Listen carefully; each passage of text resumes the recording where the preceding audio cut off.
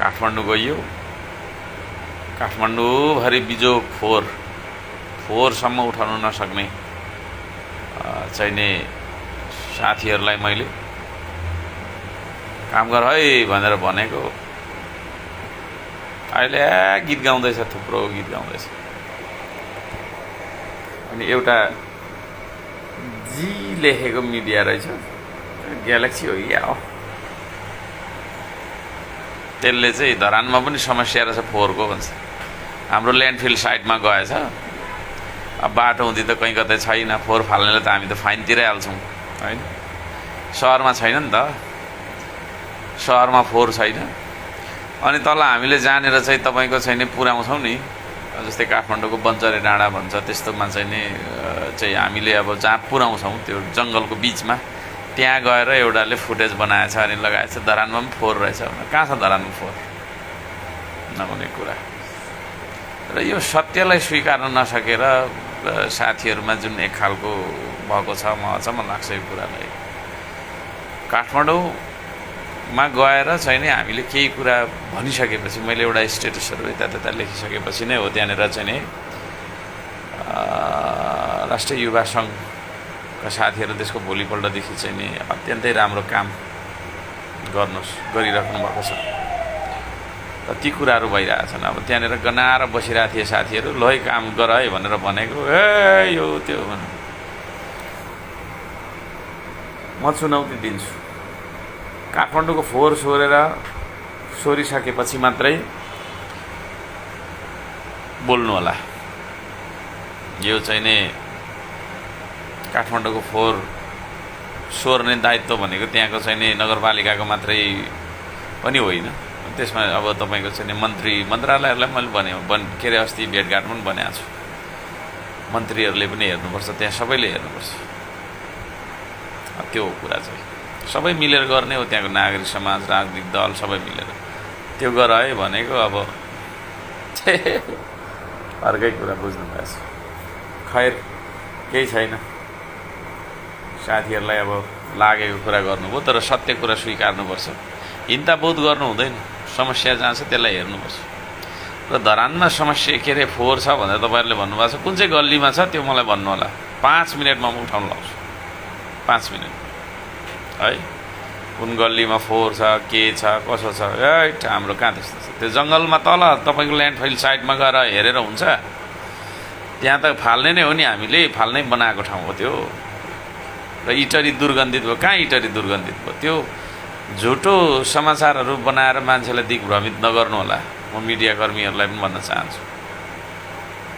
हुन त अब फेसबुक चलाउनकै लागि भनेर करोड रुपियाँ छुट्याउनेहरूले अब केही त अब गरे होलान्। अब तपाईँको छैन। त्यो नगर्नुहोस् तपाईँहरूले। नहुने नहुने कुराहरू नगर्नुहोस्।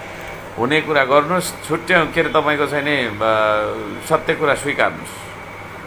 सत्य कुरा स्वीकारौँ। जहाँ अब फोहोर सोर्न नसक्नेले होइन बाटोको फोहोर सोर्न नसक्नेले तपाईँको चाहिँ नेपालको राजधानी द क्यापिटल सिटीलाई दुर्गन्धित बनाएर डुङ डुङ गनाउने बनाउनेहरूले ठुलो गफ गरेर हुन्छ। नहुने कुरा। सबैजनालाई म भन्न चाहन्छु। त्यहाँको चाहिँ नि उपमहानगरपालिका यो के के जाति सबैलाई। जबसम्म फोहोर उठ्दैन तबसम्म मेरो प्रहार भइरहन्छ। त्यो सहर भनेको तपाईँहरूको मात्रै सहर होइन। त्यो सहर भनेको हामी सबैको राजधानी हामी सबैको क्यापिटल सिटी हो। त्यहाँ टुरिस्ट आउँदाखेरि चाहिँ नि होइन त्यो बाटो हुँदै आउने हो। त्यस्तो गनाइराखेको छ भने को आउँछ टुरिस्ट? आउँछ कोही? नहुने कुरा। र यो चाहिँ नि साथीहरूलाई म भन्न चाहन्छु। हुँदो हुँदो कुराहरूमा तपाईँहरू लाग्नुहोस् नहुँदोमा नलाग्नुहोस् यही आग्रह गर्न चाहन्छु। सत्य कुरा जे हो त्यसलाई स्वीकार्न सक्नुपर्छ र फोहोरमा फोहोरी राजनीति तपाईँहरूले नगर्नुहोला म यही अनुरोध गर्न चाहन्छु।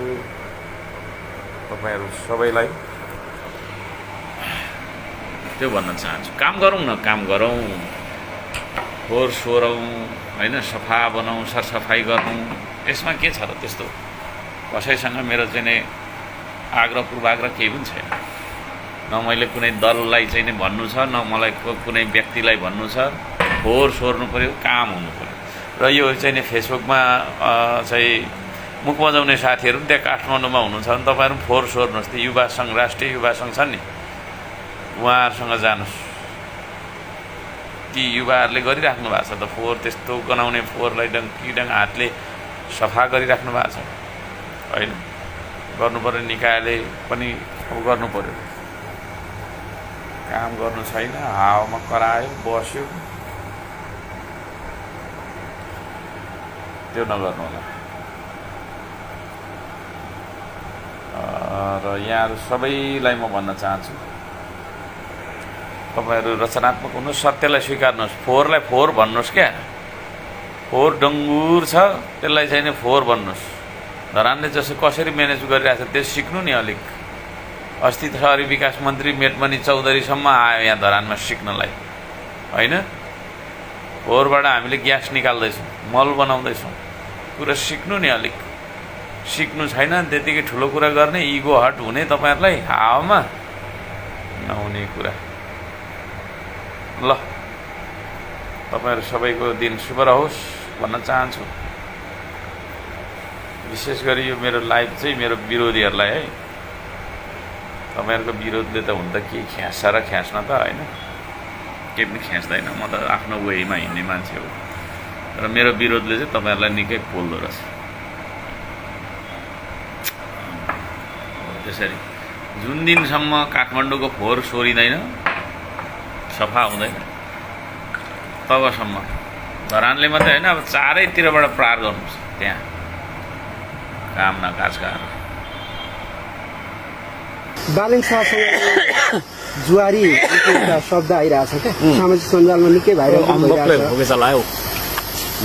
अलिकति अन्य शक्तिहरू अलिकति जुन हेर्ने एउटा स्वतन्त्र छैन। मैले उहाँलाई यसो चलाइदिएको मात्रै हो।